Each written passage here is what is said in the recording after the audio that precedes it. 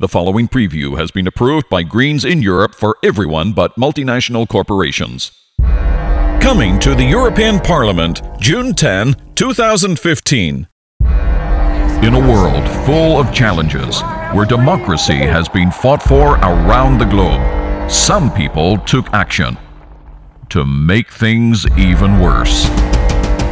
Get ready for TTIP the biggest bilateral agreement ever between the US and the EU, designed by corporations for corporations. That's official purpose is to create jobs, boost the economy, and make the world a better place. But what it's really about is one thing only. Where's the money, Lebowski? Greed is good. Start, start to follow the money.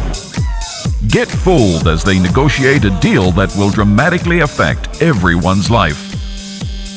Remain in the dark as talks are held in secret and where the main people consulted are actually corporate lobbyists. Ride along for an epic journey with crazy business demands. See corporations sue your country for laws they don't like. Lose whatever remains of your online privacy and say farewell to your food safety, public services, and welcome fracking as the new best way to destroy the planet.